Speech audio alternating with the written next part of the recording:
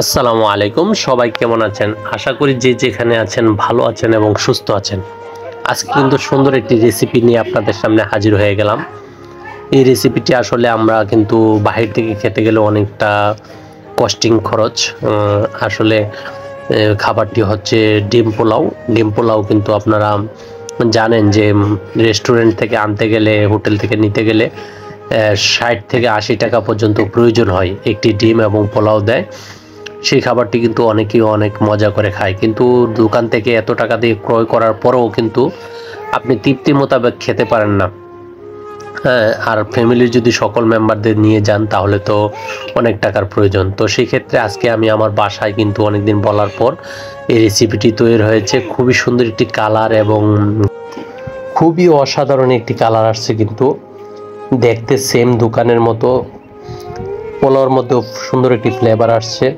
খুবই সুন্দর একটি ফ্লেভার এবং পাকটা যে করছে আসলে বোঝার মতো উপায় নেই যে এটা আসলে কি রেস্টুরেন্ট থেকে এনেছি নাকি বাসায় পাকানো হয়েছে। আসলে বাসায় এত সুন্দর করে পাকানো খুবই একটু টাফ হয়ে যায়।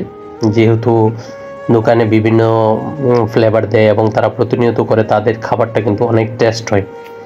তো এই খাবারটা আশা রাখব ইনশাল্লাহ আমরা খুবই সুস্বাদু হবে খুবই সুস্বাদু হবে এবং খুবই টেস্ট হবে। তো আপনাদেরকে আমি খেয়ে জানাব যে আসলে কেমনটা হয়েছে। তা আপাতত আমি ইনশাল্লাহ শুরু করব। তো এখন দেখতেছি স্টার্ট করব যে কীরকম স্বাদ হয়েছে। বিসমিল্লা রহমান রাহিম। ওয়াও, এত স্বাদ, এত স্বাদকে এত স্বাদকে। খুবই খুবই মজা, খুবই টেস্ট খুবই সুস্বাদু হয়েছে। হ্যাপি হ্যাপি হ্যাপি মজা হয়েছে। আসলে আমরা ফ্যামিলির সকল মেম্বারদের নিয়ে কিন্তু একসাথে খেতে গেলে অনেক কস্টিং অনেক টাকার প্রয়োজন।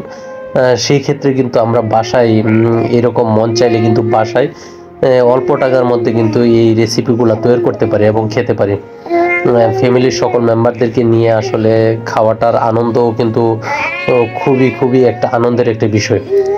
যেটা আমরা আসলে ছোটবেলায় বলতে পারি যে আমরা কিন্তু আগে পিকনিক করতাম ফ্যামিলির ছোট ভাই বোন মা বাবা ভাই বোন সবাই মিলে।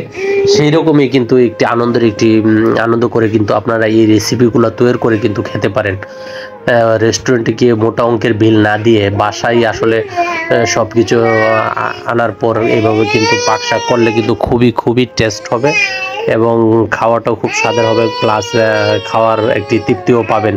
অনায়াসে, যেখানে আপনি ওই হোটেলে গেলে অনেক টাকা দিয়ে কিন্তু অল্প খেতে হয়। তো এইখানে কিন্তু আপনি ইচ্ছা মতো মন ভরে কিন্তু খেতে পারেন যে বাসার আসলে বাসার মধ্যে একটা আনলিমিটেড একটা হিসাব থাকে।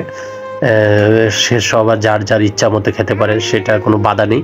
তা আমরা কিন্তু এইভাবে কিন্তু বাসায় বানিয়ে খেতে পারি।